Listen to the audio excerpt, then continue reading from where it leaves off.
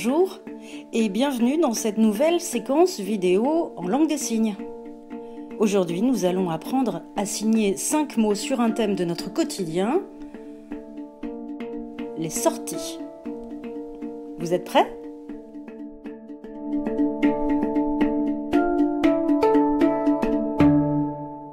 Pour aller boire un verre en terrasse et trinquer avec des amis, vous irez dans un bar.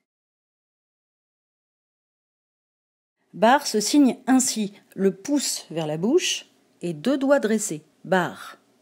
Bar. Souvent, on se rend dans un bar où on invite des amis pour prendre l'apéritif. Apéritif. Apéritif. Une fois l'apéritif terminé, direction le restaurant. Restaurant. Restaurant. Certains préféreront peut-être se prélasser au soleil dans un parc. Un parc. Parc.